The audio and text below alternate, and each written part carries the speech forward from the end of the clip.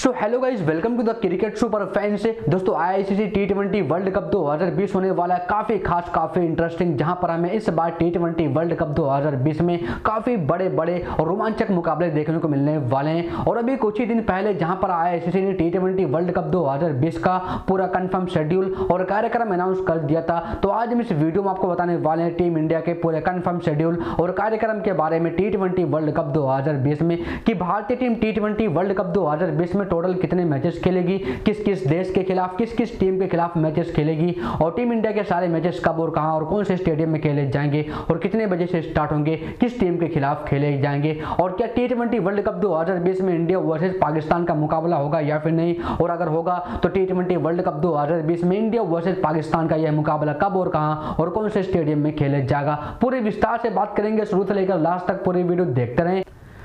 Video में आगे बढ़ने से पहले इस वीडियो को लाइक और शेयर कर दीजिए। अगर आप भी हैं क्रिकेट के फैंस, क्रिकेट से जुड़ी हर एक न्यूज़ एंड अपडेट सबसे पहले पाना चाहते हैं तो चैनल को सब्सक्राइब कर लें, साथ ही बेल आइकन को प्रेस कर लें। अब दोस्तों, अगर हम बात करें यहाँ पर टी वर्ल्ड कप 2020 के बारे में तो आई टी वर्ल्ड कप 2020 से 18 अक्टूबर 2020 को स्टार्ट हो जाएगा और 15 नवंबर 2020 को खत्म होगा, जो कि इस बार T twenty world cup 2020 Australia host कर रही है, यानी कि ऑस्ट्रेलिया में खेला जाएगा, जहाँ पर टोटल 45 मैचेस खेले जाएँगे सेमीफाइनल और फाइनल के मुकाबले को लेकर। अगर हम बात करें यहाँ पर टीम इंडिया के शेड्यूल के बारे में टी ट्वेंटी वर्ल्ड कप दो हज़ार बीस में तो कुछ इस तरह से है भारतीय टीम का शेड्यूल वैसे तो टी ट्वेंटी विश्व कप दो हज़ार अक्टूबर से स्टार्ट हो जाएगा, लेकिन भारतीय टीम अपना पहला मुकाबला टी ट्वेंटी वर्ल्ड कप दो हज़ार बीस में साउथ अफ्रीका के खिलाफ खेलेगी 24 अक्टूबर 2020 को, जो कि यह match India versus South Africa के बीच शाम को साढ़े चार बजे से स्टार्ट हो जाएगा। तो वहीं टीम इंडिया अपना दूसरा मुकाबला टी वर्ल्ड कप 2020 में क्वालिफाइड टीम के खिलाफ खेलेगी, जो कि उनतीस अक्टूबर को खेला जाएगा भारत बनाम क्वालिफायर टीम के खिलाफ,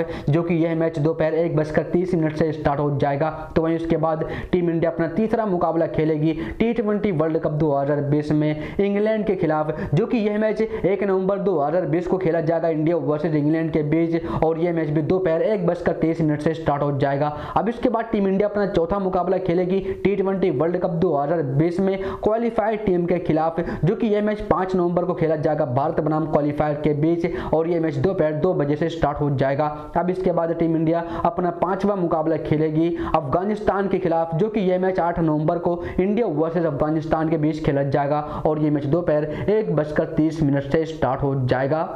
तो गाइस जरा टीम इंडिया का पूरा कंफर्म शेड्यूल और कार्यक्रम टी ट्वेंटी विश्व कप 2020 में, जो कि ग्रुप स्टेज में टीम इंडिया इन पाँच टीमों के खिलाफ खेलने वाली है। टीम इंडिया पाँच मुकाबले खेलेगी टोटल इसके बाद सेमीफाइनल और फाइनल के मुकाबले स्टार्ट हो जाएँगे, जहाँ पर दो सेमीफाइनल मैच खेले जाएँगे, उसके बाद एक फाइनल मैच खेला जाएगा। अगर हम बात करें सेमीफाइनल और फाइनल के शेड्यूल के बारे में तो कुछ इस तरह से इसका शेड्यूल जो कि टी ट्वेंटी वर्ल्ड कप दो हज़ार बीस का पहला सेमीफाइनल मैच खेला जाएगा ग्यारह नवंबर को, जो कि यह मैच सिडनी क्रिकेट ग्राउंड में खेला जाएगा। वहीं इसके बाद टी ट्वेंटी विश्व कप दो का दूसरा सेमीफाइनल मैच खेला जाएगा 12 नवंबर को एडिलेड ओवल स्टेडियम में। अब इसके बाद फाइनल का मैच खेला जाएगा 15 नवंबर को मेलबर्न क्रिकेट ग्राउंड के स्टेडियम में।